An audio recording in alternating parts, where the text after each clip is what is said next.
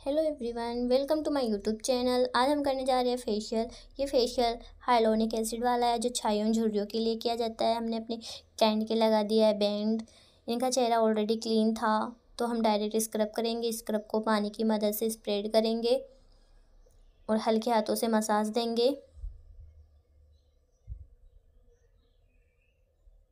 Scrub को दो से तीन मिनट करते हैं।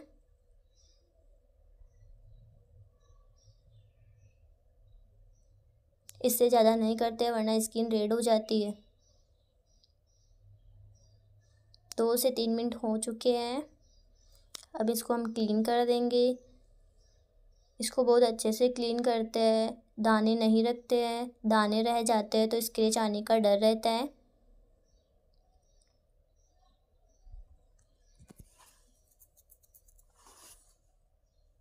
इसके बाद हम क्रीम लगाएँगे। क्रीम को पानी की मदद से स्प्रेड करेंगे, और मसाज देंगे। क्लॉकवाइज एंटी क्लॉकवाइज मसाज देंगे, step by step pressure point देंगे।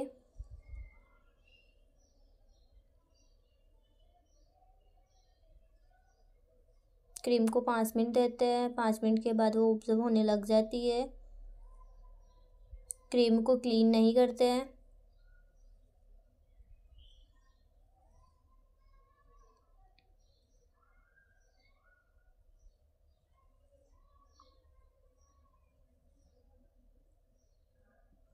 किसी किसी की सेंसिटिव स्किन होती है तो उनमें मसाज कम देनी पड़ती है।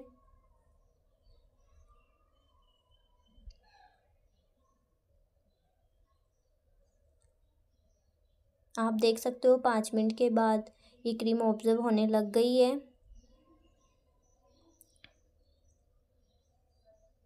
अब हम हाथों से स्टीम देंगे।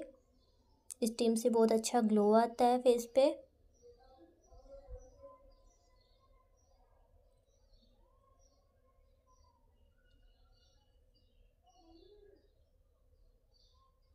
फेशियल से ब्लड सर्कुलेशन तेज़ी से बढ़ता है।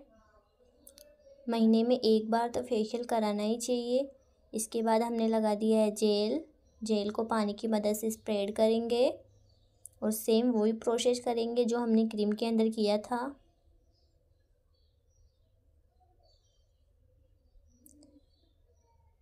सेम वैसे ही प्रेशर पॉइंट देना है। इसमें भी पाँच मिनट मसाज देनी है।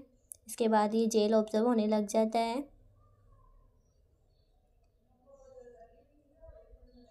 सेम स्टीम देनी है, जो क्रीम में दी थी। इसके बाद हम पेक लगाएँगे। किसी किसी का पेक टाइट होता है तो उसमें पानी मिला लेते हैं।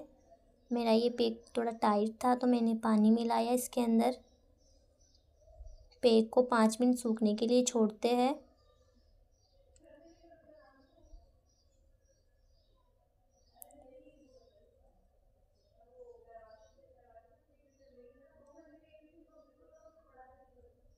पेक सूख चुका है। पानी की मदद से स्प्रेड करते हुए, मसाज करते हुए पेक को निकाल लेंगे।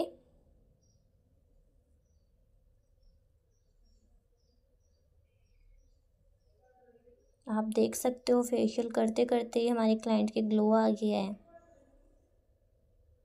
Please do like, share and subscribe my video.